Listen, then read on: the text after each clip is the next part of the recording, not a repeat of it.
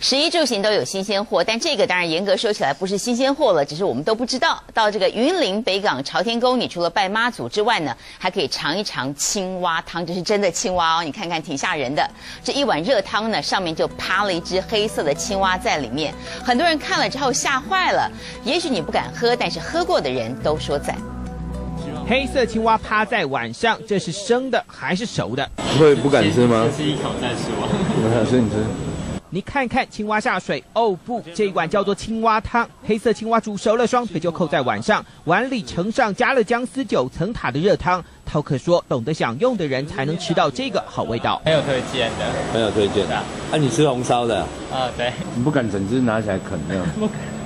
青蛙趴碗煮成汤，这可是云林北港的特色美食。不少游客拜过了朝天宫的妈祖，下一步就是来碗青蛙汤。不过你一定很好奇，这青蛙汤的滋味到底像什么呢？对啊，还蛮嫩的，蛮嫩的哈，没有想象中可怕了，是样子比较可怕一点，是吗？旁边有人受不了。内行的人都知道，青蛙的皮是最好的。嗯哼，对，它它所谓有胶原蛋白都在皮上面。饕客张开嘴巴，一口一口喝起了味道神似田鸡的青蛙汤。但这青蛙趴在大碗上的画面，如果不出手碰碰它，不知道的人乍看之下肯定吓坏，还以为是食物模型，是整人玩具。中天新闻将带进云林采访报道。